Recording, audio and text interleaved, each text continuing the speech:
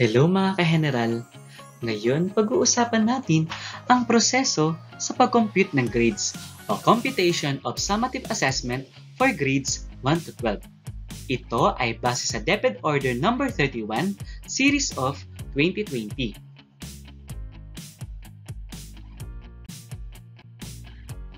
From DepEd Order No. 31, Series of 2020 entitled Interim Policy Guidelines for Assessment and Grading in Light of the Basic Education Learning Continuity Plan. From number 5 procedures, number 16, it says that to evaluate student learning at particular points in each quarter, summative assessment shall continue in the form of written works and performance tasks.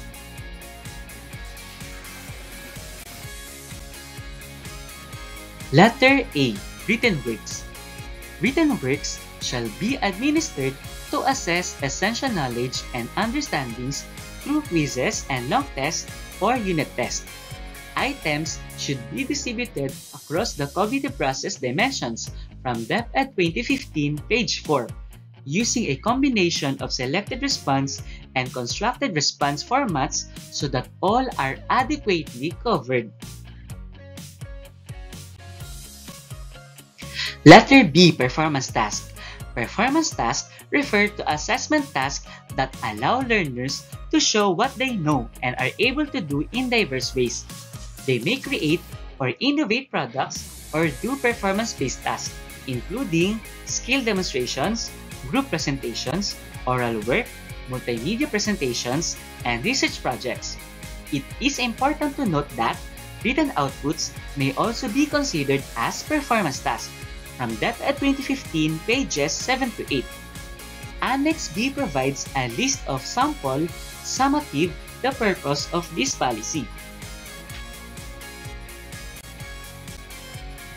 Number 20. Record of Progress.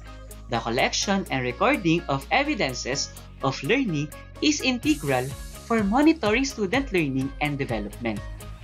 Listed below are some sample strategies for this purpose.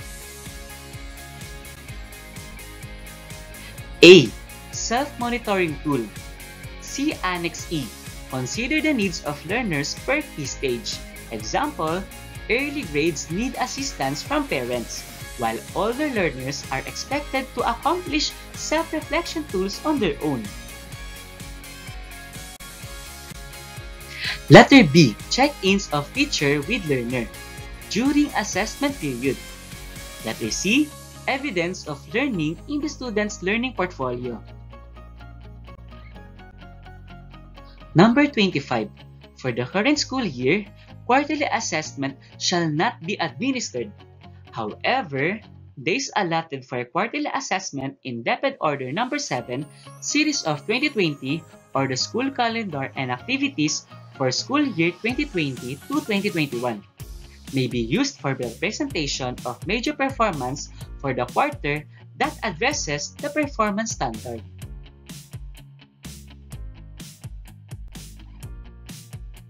Quarterly examinations were given a weight of 20% constantly in DepEd Order No. 8, Series of 2015. Since it will no longer be a part of the grading system for this school year, its previously determined weight was distributed equally into written works and performance tasks, allotting an additional 10% to each component. This maintains an emphasis on performance tasks for some learning areas.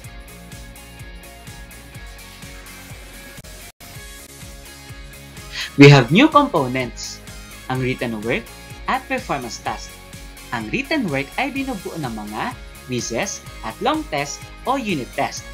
Ang performance task ay binubuo ng mga skill demonstrations, group presentations, oral works, multimedia presentations, research projects, at written outputs.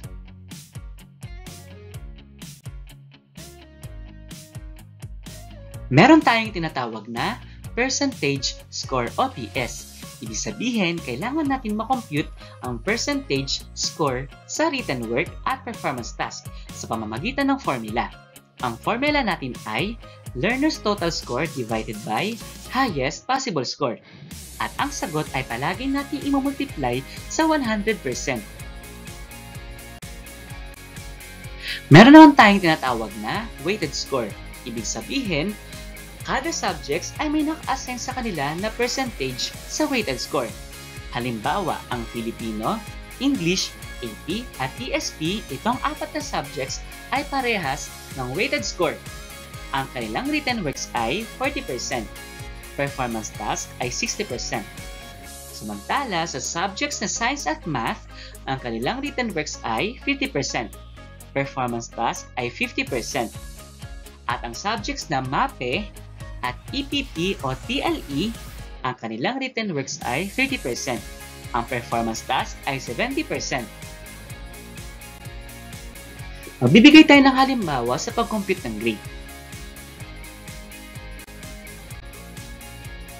Halimbawa, i-compute natin ang grade sa Filipino, English, AP, at ESP dahil parehas naman sila ng weighted score. Uunahin natin ang pag-compute sa written works. Ito ang mga total items. Ito naman ang mga score ni Juan. 85 ang highest possible score. At 77 naman ang total score ni Juan. Para makuha ang PS, kailangan ang 77 i-divide natin sa 85. At ang sagot ay imamultiply natin sa 100%. Kaya ang percentage score ay 90.59%. Para makuha ang WS, kailangan ang 90.59% imamultiply natin sa 40%. Kaya ang weighted score ay 36.24%. Dumako naman tayo sa performance task. Ito ang mga total items. Ito naman ang mga total score ni Juan. 75 ang highest possible score. At 56 naman ang total score ni Juan. Para makuha ang percentage score, kailangan ang 56 i-divide natin sa 75. At ang sagot, i-multiply natin sa 100%. Kaya ang percentage score ay 74.67%.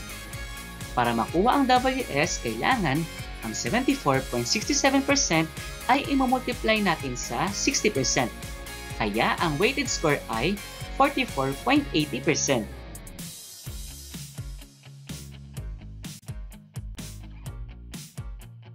ang na-compute natin na weighted score sa written works na 36.24% at performance task na 44.80% ay kailangan natin itotal.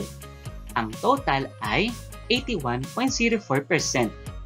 Ito ang ating initial grade. Ang 81.04% ay may katumbas na grade sa transmutation table.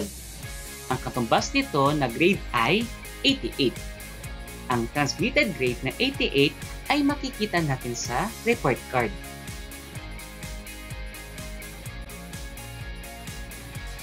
Ito naman ang tinatawag na transmutation table.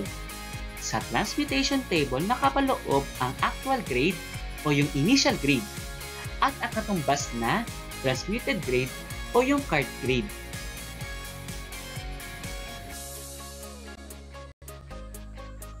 Ito naman ang digital slash printed modular learning, TV slash RBI, and homeschooling. Dito nakapaloob ang mga learning area, written outputs, products, at performance-based tasks.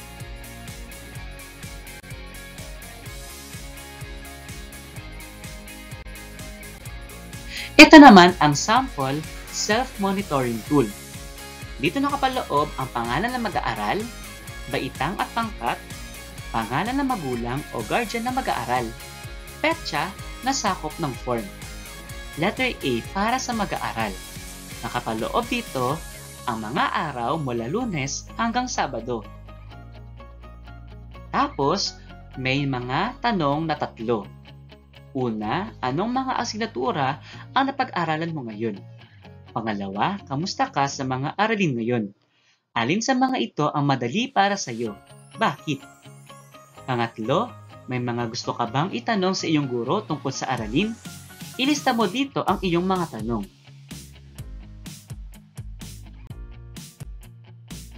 Letter B para sa magulang o guardian. Unang tanong, nagawa ba ng iyong anak ang kanyang mga gawain sa paaralan ngayong araw? Pangalawa, kumusta ang pag-aaral ng iyong anak? May mga gusto ka bang iulat o itanong sa kanyang guro? Isulat dito ang iyong mga puna, question o tanong. Letter C para sa guro. Dito naman ilalagay ang mga komento at sagot.